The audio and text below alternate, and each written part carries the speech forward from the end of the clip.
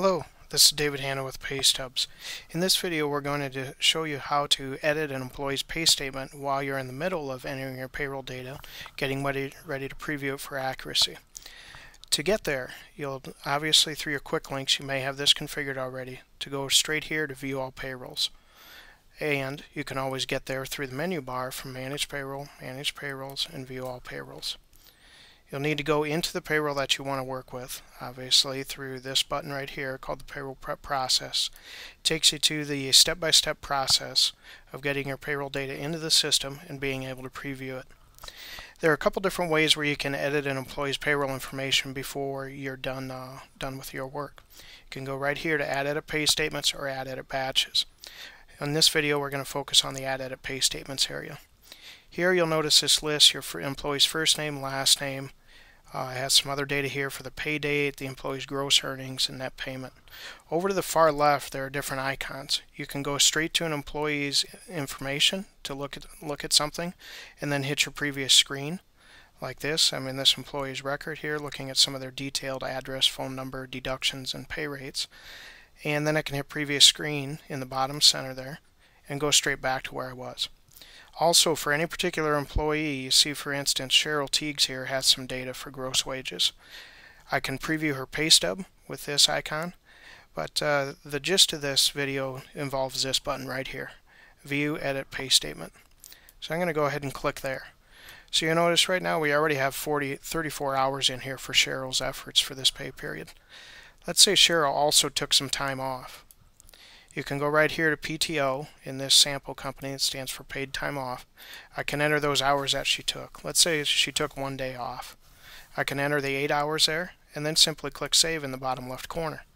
So now she has $76 here, which is her eight hours at a regular rate for PTO or paid time off. To preview this on her pay stub in the bottom center, I can simply click preview. Take a quick look here and we see the PTO paid out at the nine and a half dollar rate and eight hours of it. And that's it. They're all that's all there would be to do to add paid time off for Cheryl. Let's take another employee for example. I'll click previous screen again. Go back to my list. Let's say Amanda Costanza here has earned a bonus for this pay period but nothing else. I can go to view edit pay statement right here. I can click on my drop down box it can go straight to the bonus. Notice it shows you earnings and the system will show you deductions that are available. I'm going to add a bonus and over to the far right all I need to do is type in the amount. Let's give Amanda a $1,000 bonus and then click save in the bottom left corner. I get my little thumbs up up here. I'm all done with that one. I can click previous screen, go back to my list here, and now you notice Amanda has $1,000 of gross wages there. There's her net payment. I'm going to scroll down here a little bit. This is my salaried employees in this particular company. For Thurston Howell, we need to add a deduction for him because he broke some things here at work. And so we need to deduct, say, $100 from this paycheck. Just a one-time item. I can go to View Edit Pay Statement. I can go right here again to this earning deduction code into the blank areas here, which is where you can add additional lines. Click the drop down. I can go down here. We'll choose a standard deduction for him there and we can simply enter $100 and click Save right there. There's also a Utilities button here when you're in this screen. Let's say I want to let Thurston know on his pay stub just exactly what that $100 deduction is for because it is a one-time deduction. I can click on Utilities. I can go right up here to Options. And you'll notice if I scroll down a little bit, here's a pay stub note field where I could type $100 deduction is for broken equipment. Period. Click Apply Changes here, and then click Save in the bottom left corner there. Now we're going to preview his pay stub.